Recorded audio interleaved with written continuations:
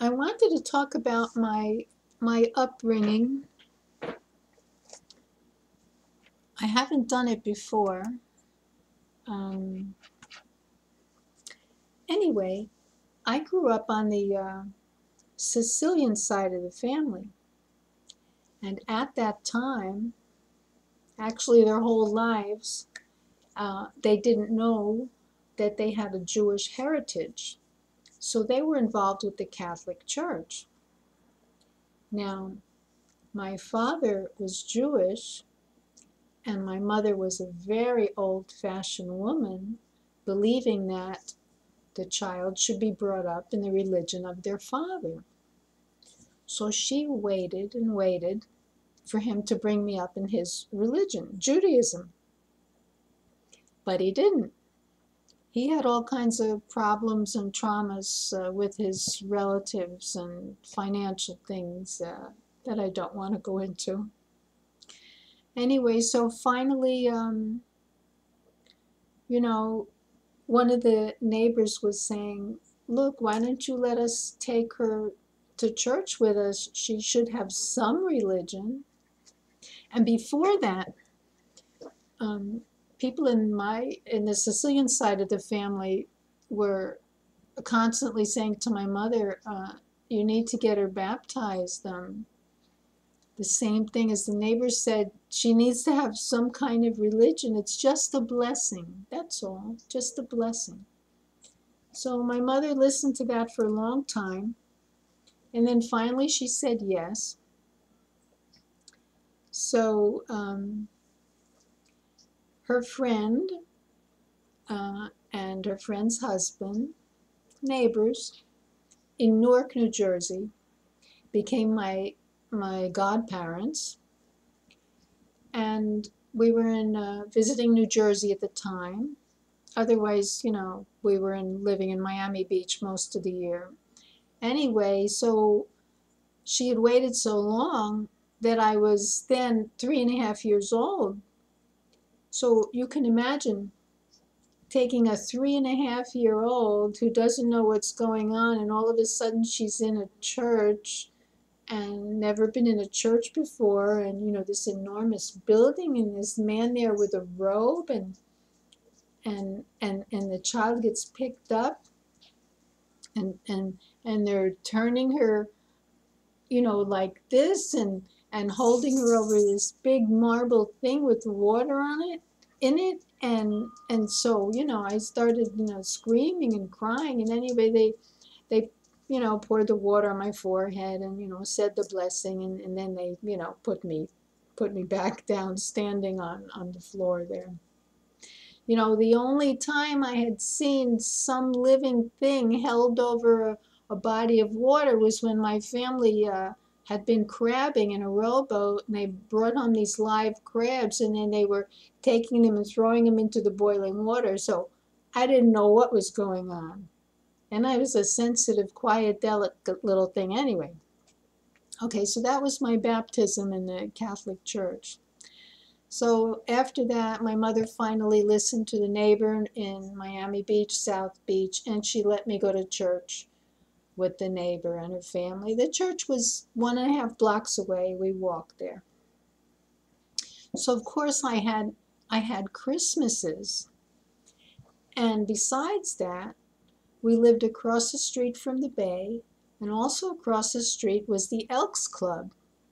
And they like to do many things for the community and for the children in the community. So, so every Christmas they had this party with with you know free toys and there was a, a magician and and food and everything you know it was great um, so and you know of course my mother took me to see santa claus and and downtown miami had these department this department store richards and they had the most magnificent decorations you know the the moving the moving uh, replicas of people, you know, and all the lights and everything and the reindeer. Well, it was it was wonderful.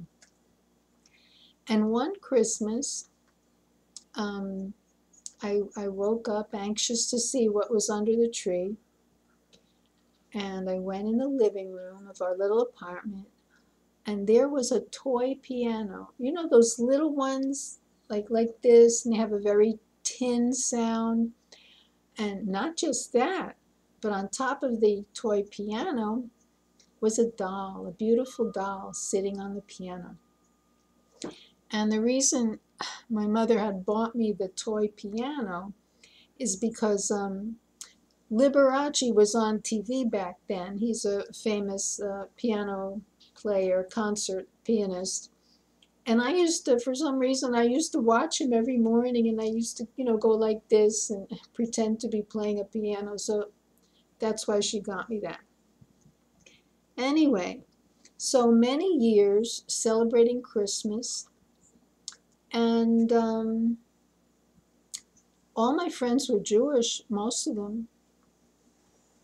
And, and an interesting thing is, back then, this was this was the 50s and before the 50s, no Jewish person was allowed to live beyond north of Fifth Street. So my mother and I lived in my uncle's apartment building on 7th Street. My father had a business, a very um, popular business on Fifth Street. So, you know, he was like two blocks away in his business. And, but this, this thing about no Jews allowed to live beyond north of Fifth Street continued into the 50s. And then, then it started dissipating and things changed because, you know, um, Jews were bringing business into Miami and they were bringing customers in, into Miami Beach. So things did change. But I thought that was interesting. My father had his business right, right on the border, you know, like couldn't live beyond Fifth Street. We had his business right there, so he could get customers from south of Fifth Street and north of Fifth Street. Anyway, let's uh, speed this up to the future. So when I became a teenager, I went to many, many different types of churches. Um, African Methodist Epis Episcopal, Baptist, um, Pentecostal, and I continued that for many years. Um, and when I was 19, I lived in a, um, what do you call that, a, commu a commune, a religious commune. And, um, you know, they believed that you should be doing uh, reading or studying or preaching all the time. And after a month there, I thought, you know, it was a little bit too, um, I don't know, like like the military. You weren't allowed to even sit and look out a window for five minutes or anything. You always had to be, you know, preaching or studying, you know, something like that. So I left there after a month. And I continued many years, you know, going to different churches. I even went back to the Catholic Church because you know, they have this beautiful artwork in there and it's very peaceful. And after many years, you have the whole service and the prayers uh, memorized, the Apostles' Creed and all that. And later on in my um, in my 40s, uh, I watched a TV show called Zola Levitt Presents. And it was so interesting. It was about the uh, Jewish roots of, of Christianity, and, and I was absolutely fascinated. So then I started going to Messianic uh, synagogues, which um, traditional Jews think is terrible because, you know, they they believe that the Almighty is one. You know, He's not separated into two or three. So, but anyway, I um, I went to various ones and I learned a lot. And then the years passed and I started hearing a lot of uh, bad things about Islam and I thought, well, this can't be. It's a major religion. So I, I decided to read the, the Quran, the whole thing, carefully, even the little comments, you know, on the bottom, the references. And I specifically had in my mind, if there's something bad in here, I want to find it. And I, I couldn't find anything bad. So then I started visiting mosques. And little by little, you know, with all my studies, I started seeing that, you know, when you actually read the books of these three Abrahamic religions, Judaism, Christianity, Islam, that they're all they're all saying the same basic things, you know, to obey the Almighty, to to care for your fellow human being, not not to murder, you know, to give to charity, to, to raise your children, you know, with the rules of the Almighty, all these same same things. So so I I I think that in a way um, I am blessed because I don't have any bad feelings about any of those groups. I would never, never say anything bad about any of those groups because I know them, I've lived them, I've studied them. And the interesting thing is, I have relatives that are Christian, uh, also Protestant Christian, Catholic Christian, and, and Jewish, and, and Muslim. And I also have uh, relatives some of them were like, you know, like atheists. And right now there's only a, one atheist that I know left in the family. The others have gone on to their reward in heaven. But so out of all these relatives, guess which one behaves the best? The one who's the most kind. The one who has self-discipline the one who has a very steady, orderly life. Which one? The atheist. Isn't that something? anyway, I've been baptized so many times in all these different churches. And then and then in 2015, uh, I decided to look more closely to um, the ship's manifest records of my grandmother and my two aunts and uncle who came over in, let me see, 1909 from Sicily. So it's the Ellis Island Statue of Liberty Foundation website. And there was something on there you know, with my, my grandmother's name there, you know, where she's from, et cetera, et cetera. There was something on there. I just, I couldn't really see clearly, and it was her mother's name, so this would be my grandmother. So I sent away for it. And, and I took one of these, and when it arrived, you know, uh, I looked at it really carefully because it's very hard to tell online. So I looked at it very carefully, and there it was a Jewish surname of my great grandmother. Okay, so that that doesn't mean that I was half Jewish anymore, like I thought I was.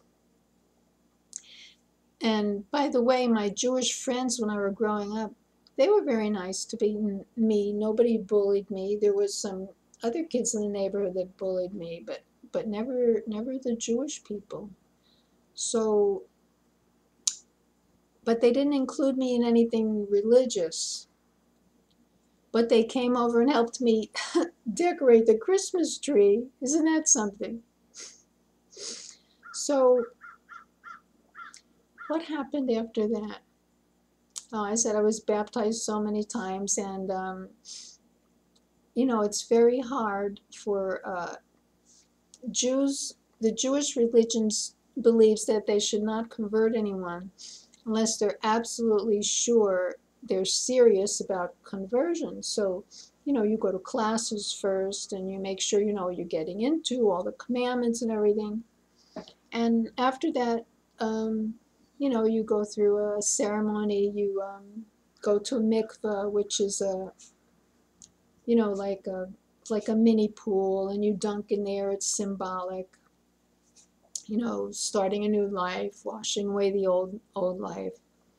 So I did all that because you know, I I didn't want there to be any question if I attend a synagogue, you know, am I Jewish or not? Maybe they maybe they would think, oh, you know, so she found a relative, you know, big deal. She didn't grow up in a Jewish home and, you know, she doesn't know what sh- any of the rules and no. So I didn't I didn't uh, want to chance any of that. So I went through the uh, cons- conservative uh, conversion in the synagogue and so nobody can say anything. I can participate, you know, wanted to make sure. So I want you to know where I'm coming from.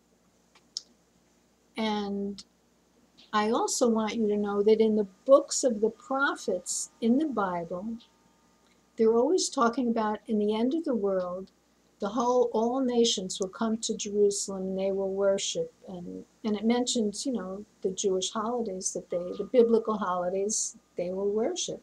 So this means in the future I, all people will be following the same religion. So then doesn't that mean everybody's a future Jew? And here's another thing to think about. Since the Garden of Eden is in Iraq, which the ancient name of that place is uh, Chaldea, and that's an Arab country. So if the Garden of Eden is in an Arab country, aren't we all Arabs? So when you start studying all these details, it just seems so so illogical to have uh, separations be- between people. I mean, we're just we're just closer in soul and spirit and mind and, and in reality than than we think. Anyway, since this is uh, a day when many people are remembering the birth of the Jewish rabbi in uh, in Bethlehem, I thought I would read a prayer from my new prayer book. And it's the first prayer in the book. It's a week it's for a weekday prayer. We are called unto life, destiny uncertain. Yet we offer thanks for what we know, for health and healing, for labor and repose, for renewal of beauty in earth and sky, for that blend of human holy which inspires compassion, and for hope, eternal, promising light, for life, for health, for hope, for beautiful, bountiful blessing. All praise to the source of being. Baruch atah Adonai, Mekor Nefesh Kol Hai. Blessed are you, Lord, the source of all being. And I wish you all, I'm so sentimental. I wish you all beautiful holiday.